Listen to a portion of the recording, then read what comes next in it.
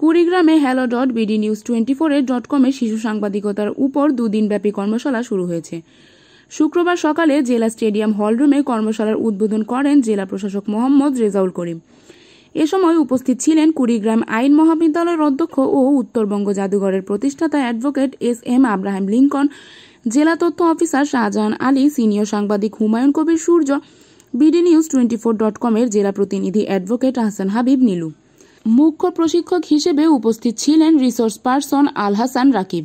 কর্মশালায় বিভিন্ন শিক্ষা প্রতিষ্ঠান ও সাংস্কৃতিক সংগঠন থেকে বিশ জন শিশু অংশগ্রহণ করে।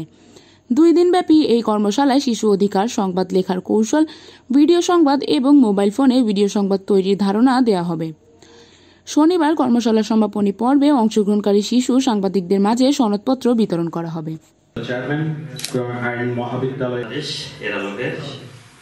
সাংবাদিকদের হাতে প্রিয় ব্যক্তিত্ব যারা হুমায়ুন কবির সূর্য ভাই সামনে উপস্থিত।